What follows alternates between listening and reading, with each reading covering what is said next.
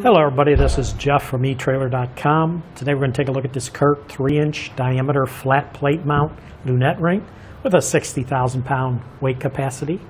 Now this lunette ring will bolt onto the front of your trailer so that you can couple to a pinto hook. It's a strong forged steel construction. does have a nice corrosion resistant black powder coat finish on it. And if you notice at the back here it has a nice smooth backside, allows for flush mounting to flat surfaces. Now it is a bolt-on installation. Does have the pre-drilled three-quarter inch diameter mounting holes here, allow for a nice simple installation. Now the hardware kit to install this is sold separately. We do list it on the product page as a related product. A few specs again on this, the weight capacity is 60,000 pounds. A few measurements I want to give you.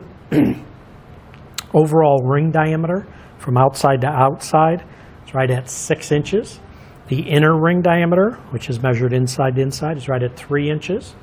The mounting plate dimensions, the very back here at the widest point, which is right in the middle here, it's going to be right at six and a half inches. And the height is right at six and a quarter inches tall. And the spacing between the bolt holes, center to center, horizontally is four and a half inches, and vertically is also four and a half inches. But that's going to do it on the review of the Curt 3-inch diameter flat plate mount lunette ring with the 60,000 pound weight capacity.